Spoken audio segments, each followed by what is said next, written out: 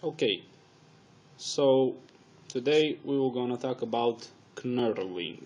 I don't know if I pronounced it corrected, correct, but this is one type, and this is another type. You can see it right here. For the introduction, I will use another camera. Uh, this is a very odd type. It's kind of square. But anyway, knurling tools are very different sometimes. This is a one wheel tool and the wheel on it has a tooth that make this pattern. It's like this on an angle uh, you can reverse this however you want. You will not get the cross pattern with a single wheel tool. Uh, if you want the cross pattern you will need to have crossed wheels. Uh, this one is a straight one. Yeah roll away. Uh, Actually the one that rolled was made with this one, which has this angled wheels. This is the most odd looking one. It has uh, a hole for a pin. You can align and not on this part here and you can change them. Never use it so actually it's used but not by me so today we will see how this one works so far I've only used the big one. Um, how is the big one different from the others? Apart from the design this wheel is actually made out of an insert. The others this one is high speed steel I think. This one also and this I think it's hardened steel. So apart from this one the rest you can only use on aluminum.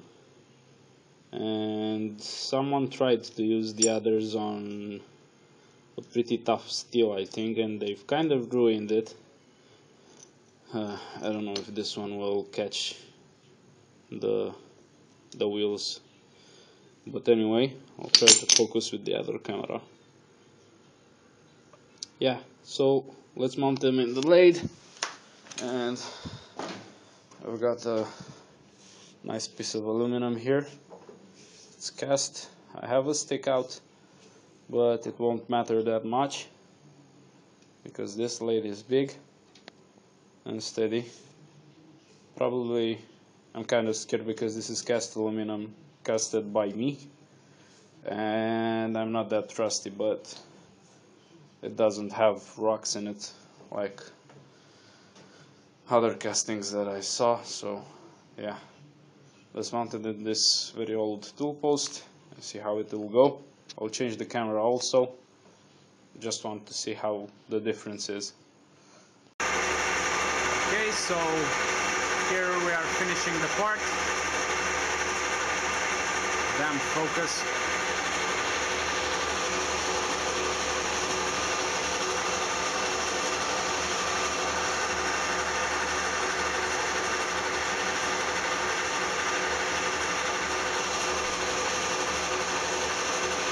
hopefully this time I will get a very nice finish. It's a final pass.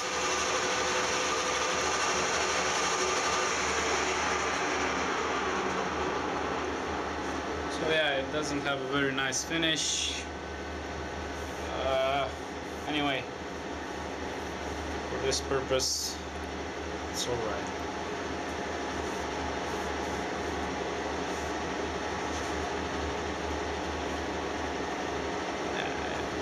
It's okay.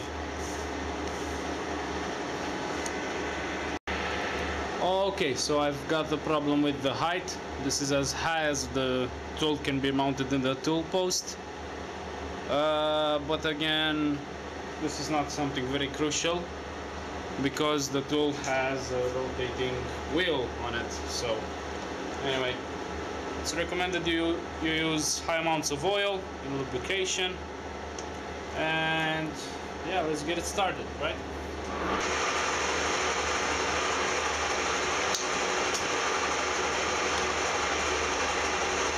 I'll go now back in the other direction. You can have as many passes as you wish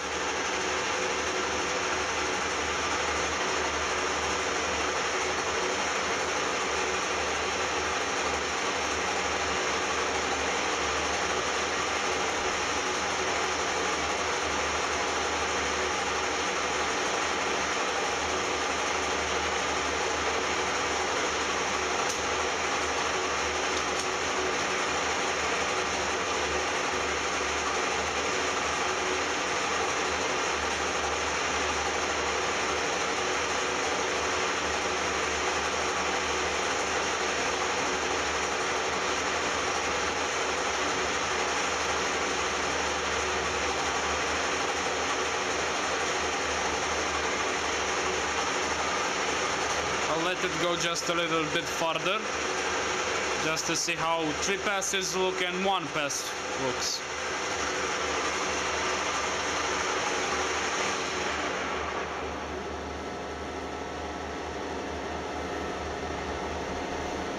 Now let's see. Doesn't look very well, but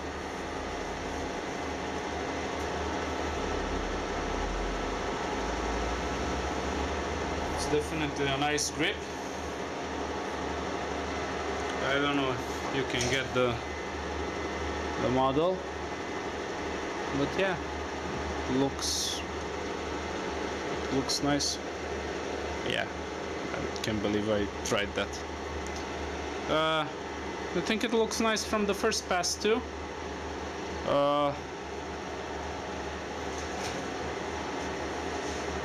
yeah. Anyway.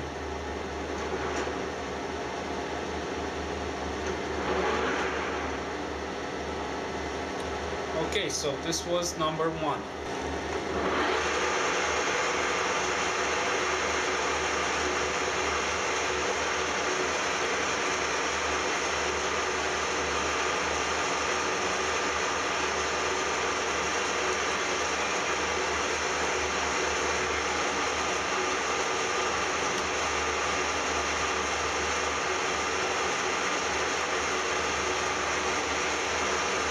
I will go just one pass. I've seen that it's enough.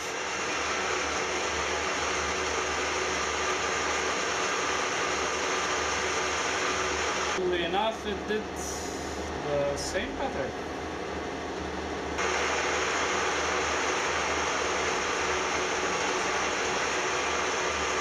Yeah, nice.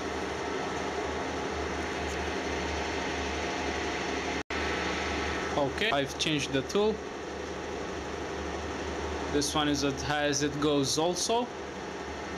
So I know this is the, this is a thing. So yeah, let's try the straight one this time.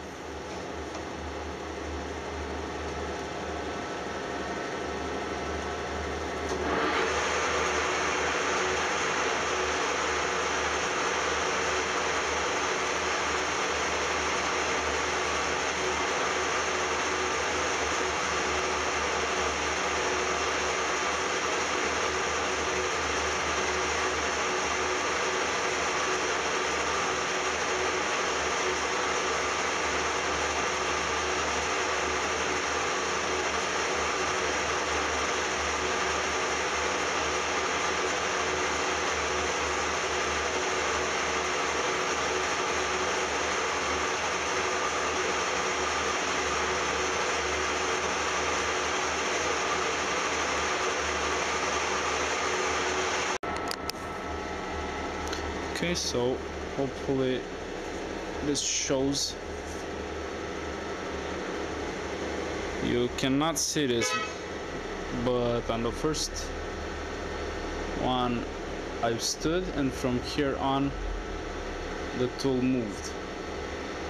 Uh, it's no difference from the tool standing or moving. Nice. Okay, so I've mounted the other one and This is the one that has the most wear in it. And it's the most small. The smallest. So let's see how this one does.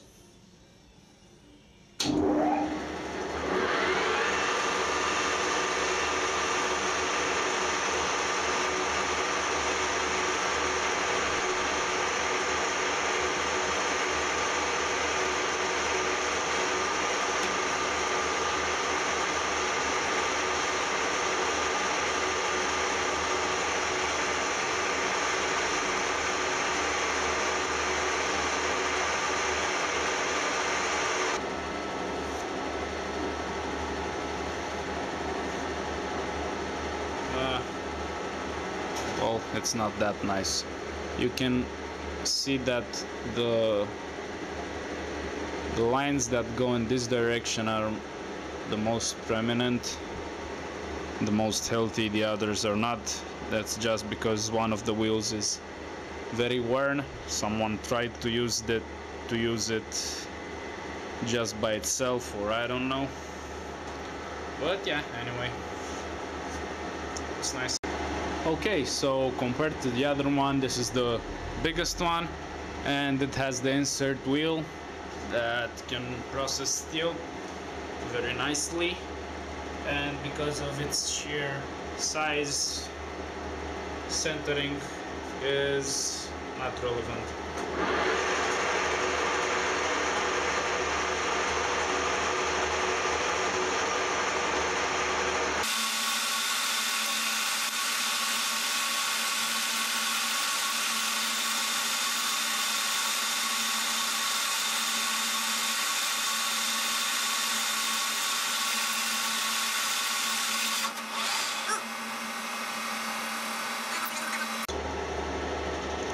not So yeah, this is how the other one does. So I think I've covered basically all the types of knurling. Uh, there is another pattern, which is odd, and one of the wheels has straight lines, like this one does, and the other has longitudinal lines on the other, which makes a pattern of squares. But as I said, that I think is the most odd one. Uh, I have to tell you, from all this knurling, uh, the piece is oily. It's still full of oil. You can see why you need knurling on a piece. Here you have some grip. Here you have maximum grip, so I, I will break my hand. You can see I have I have marks on my hand.